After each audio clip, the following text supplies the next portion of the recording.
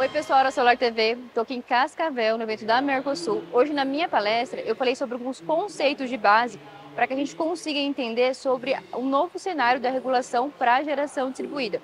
Eu falei sobre fator de simultaneidade, sobre o pagamento do fio B, sobre o pagamento do fio B ou do consumo mínimo, sobre o cenário atual do consumidor optante BT, que também quer gerar sua própria energia, e sobre tudo aquilo que a gente já pode exigir da distribuidora para aplicar a Lei 14.300. É muito importante que vocês participem desse tipo de evento para conseguir entender melhor essas novas regras, conseguir trocar experiência entre as empresas, para a gente conseguir elevar o nível da regra do nosso mercado.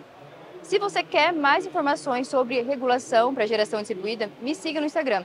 Meu Instagram é Martins.